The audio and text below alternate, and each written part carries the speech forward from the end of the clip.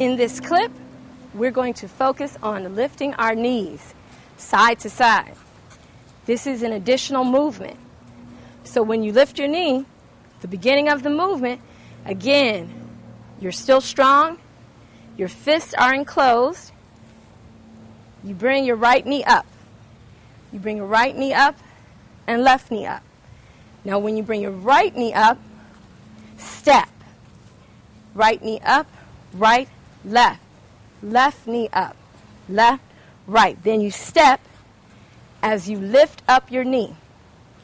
Step. One, two, and bum. One, two, and bum. As you step up, you're catapulting that knee up. So we're going to go very slow. Lift. One, two, three. Lift. Left, right, left. Right, right, left, right.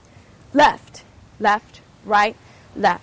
Right, right, left, right, left, left, right, left.